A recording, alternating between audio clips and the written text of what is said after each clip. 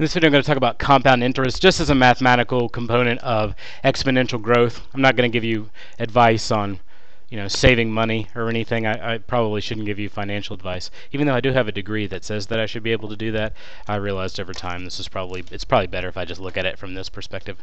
Let somebody who's good at that do it. Anyway, uh, the formula is a version of the old uh, exponential growth formula, which is y equals a times b to the uh, x power. All this kind of matches in. The a uh, refers to the uh, essentially the amount that's in the account itself. So whatever the overall value of the thing happens to be, wherever you put your money, whether it's you know CDs or um, some sort of just account, it tends to have uh, A represents basically just the uh, balance in the account. So so for A, you could say amount or you could say balance in the account as a whole. Uh, P represents the principal, which would be the uh, version in the uh, principal, I forgot. Not like your principal, but the principal would be the initial amount that you have in the account, so startup money.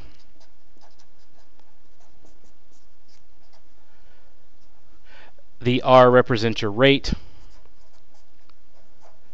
which is always in decimal form. The n, uh, that would be the um, number of times interest is compounded per year.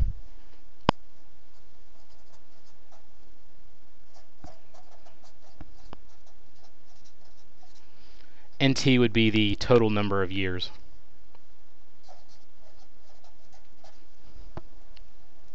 Um, now,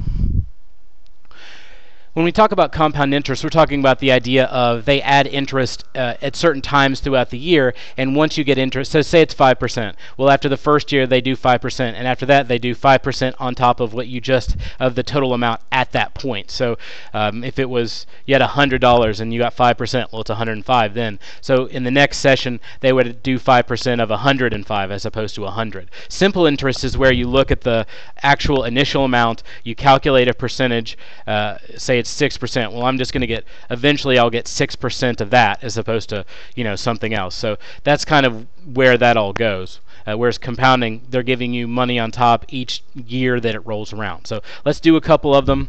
I'll keep the little form around. Most of the time when you do this type of problem, they give you the interest formula somewhere that you can use.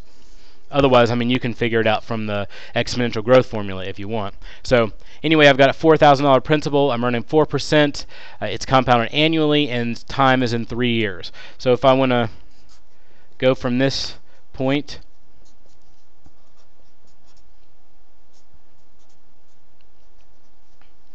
So um, A was the part I'm looking for. My principal value is 4,000 and I need to do something where I'm considering the uh, principal as part of my, I want to know what it is after I add it on plus the original principal, so that's why the 1 is there. And then uh, the rate would be 4%, so 0.04. And now I would divide it by the number of times it's done. Annually means it's done once, so I can just do 0.04. And then uh, my number of times, which in this case is of course 1, and the number of years. So I'm merely doing it for 3 years at that rate. So I can just do 4,000 times 1 plus 0.04, and I'm raising that to the third power. Hit it.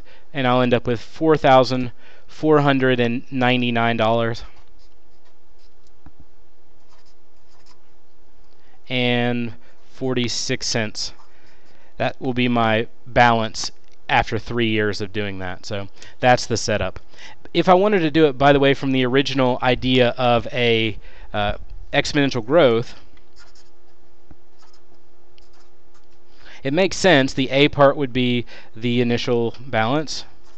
The B part would be the growth factor, which is, um, in this case, 1.0, or, so the, sorry, 1, and the percentage, which it's only done one time, so 1.04, and then I'd raise that to the number which would be 3. So it works out to be the same thing. That's just where it comes from. Let's do uh, two more, but really it's the same problem just with a one adjustment. Uh, in this one, I'm dealing with a principal of 1400. I'm earning 3%, uh, but it's compounded semi-annually. Semi doesn't most some people don't think of semi as meaning anything specific, but it really means that you're compounding it twice a year, so halfway through the year. And your time is going to be 19 years. So if I were to use the formula principal equals 1 plus the rate over the number of times it's compounded, and then I want the number of times compounded times time. 1400 1 plus my rate now is going to be uh, 0.03 but in this point this time I have to uh, divide because there's two times where it's compounded throughout that year. And then I want to do 2 times 19 so 1400 times 1 plus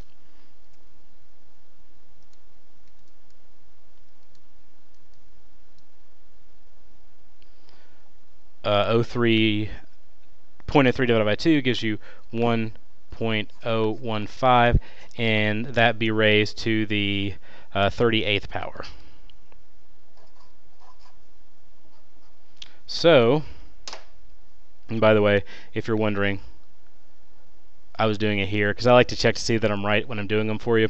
So 1.03, 1 plus 0.03, uh, 2 this, over this 2 and it gives me this so then I'm going to raise it to 30th power. So checking it all in I didn't want it to be any sort of you sensing that I was trying to be smart. I'm not trying to be smart. I'm just trying to show you how to get the answer. There it is in all its glory. So $2,465 and 12 cents. That's not a great earning rate. 19 years is a long time to keep it in at that rate but it's more it's like almost double your money. Oh not really. It's a thousand dollars more than you had before. Uh, you didn't put in very much. You didn't do much to work the numbers. So it's not bad. It's a heck of a lot better than spending it all on uh, something that like people who used to spend them on DVDs nobody's really using DVDs anymore. So good luck on that. I'll do the same thing except this time I'm going to compound it quarterly. So all the stuff's going to stay the same and you can see how it changes it what the effect is by the way, I tend to always write down the formula just so I have a nice place to get my head wrapped around. It sort of sets the stage for everything. 1 plus 0.03. Now this time it's quarterly, which means four times a year.